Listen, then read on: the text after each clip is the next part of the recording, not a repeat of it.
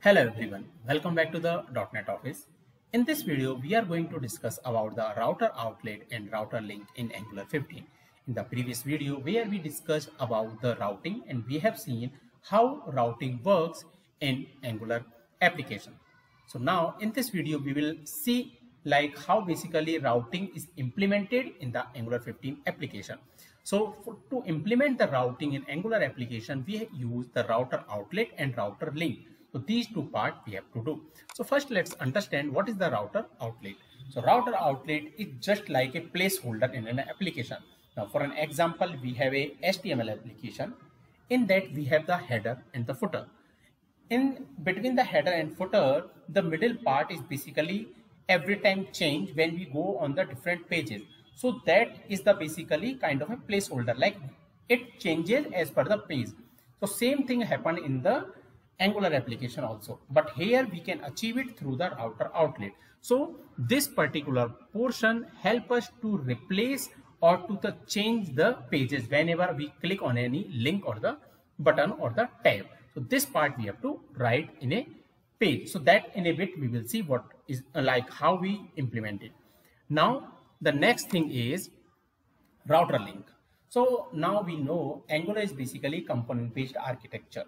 Now, if it is a component based architecture, then to communicate between the component or to going from one component to another component, we use the router. And how, uh, like basically we navigate, we navigate using the keyword called router link. Now for an example, if I want to click on a particular link and when I click on that link, I want to uh, communicate or I want to go to the another component, then this router link is basically contain that link name and this link is basically the name of that particular link. So in a bit we will see this also. So now let's go to the visual studio code. And here you can see this app.routing.module.ts so this is the file. So when we if you remember like when we created this angular 15 application in our part one so it asks us do you want to create the routing yes or no? And that time we given the yes. So that's why we can see this file here. If you would given n or the no, then it will not give this file to us and we have to create it manually. And the another thing is like this enhancement, like that uh, pop kind of a message, like do you want to create this routing or not? That was implemented in Angular 8. If you were using uh, like uh, Angular 7 or before the version of the Angular 8, it would not create app routing module file itself. Like we have to create it by on till Angular 7. But after the Angular 8, it asks us do you want to create it or not? So now in the angular 15 we have implemented it.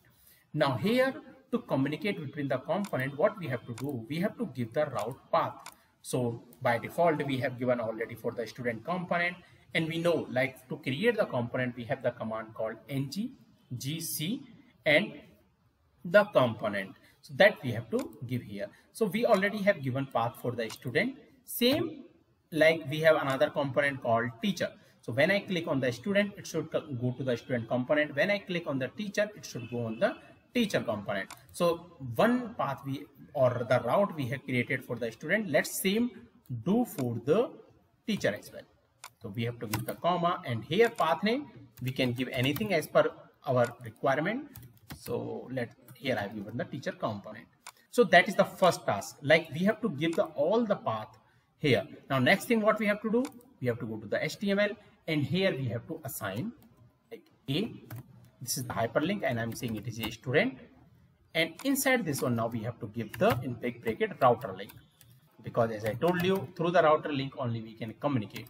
Now inside this big bracket and then we have to give the single and then uh, this single quote and then slash and here we have to give the the path name. So it is this path name is basically this path name only. So this student is that now let's do the same thing for the teacher. So teacher i have given. Here let's change it. Now let's save the changes go on the browser and here you will see. Okay let's uh, give the some difference so we can see. So student and the teacher. When i click on the student we can see it is net changing the url path. If i click on the teacher but it is not printing anything. And the reason is because we are still didn't implement router outlet. So now router outlet. Now let's change save the changes. Let's go here and by default it is on the teacher. That's why teacher works. If i click on the student student works. So this is the way like we can see we can we are navigating between the component. And this particular thing is written in the html of the respective pages. So in the teacher html it is written the teacher works. In the student it is written the student works so that's why it is showing the respective data. Now another thing like if what if i want to uh, navigate to a particular page based on the button click? So how you can do that one? So for that one let's click a button like let's create a button and give this button name as a uh, go to pages. This i am saying and now here we have to like attach one event that is the click event and then we have to give the method name so what i'm going to say i'm going to say a dynamic router. So this method uh, name i have given here. Now the next thing what we have to do we have to assign the like this method we have to uh, implement now. And to implement it like so like to implement it what we have to do? Let's save it first and it is giving the error. And the reason is we didn't implement it. So now to implement it let's go here app component of ts and here you implement it. So let's implement and inside this one what we will see we will take the link name from there. I am taking as a string like which page we want to go. So this link name we have to take. Now if link name is equal to equal to student then where we will navigate? We will navigate to the student page. So how we will do? So that part is basically comes from the router so what i'm going to do in the constructor i'm taking private a local variable and the type of this will be the router. So through this router is basically exist an angular router. So now through this router only we can navigate. And to navigate this one what we have to do? We have to write this dot router dot navigate.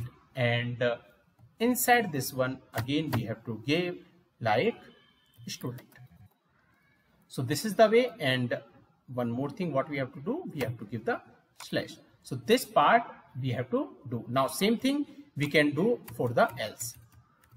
And that is for the teacher basically. So let's copy it and give it here teacher.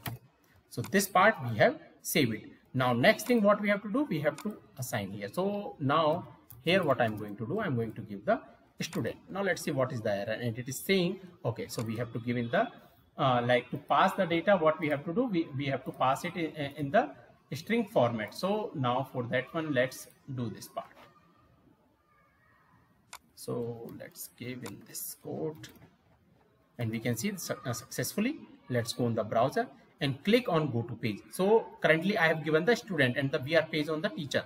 So if i will click we can see it is going on the student page. If i click on teacher again if i go click on go to page we are going the student page. So this is the way basically we navigate between the component or either through the router link or through the uh, like router dot navigate method. So this is the way of implementing the router outlet and router link in the angular 15 application. So and another way like uh, this is the uh, like uh, the server side basically like uh, in the component side we implement in this way and if you want to create a routing using the command then this is the command ng g module and app routing so module is basically we have to give an app routing then we have to give this path and flat is basically we know like it is used to uh, like uh, create any file under this root folder so that is about the routing in Angular 15. So that's it for this video. If you have any question and doubt, please comment. Thank you.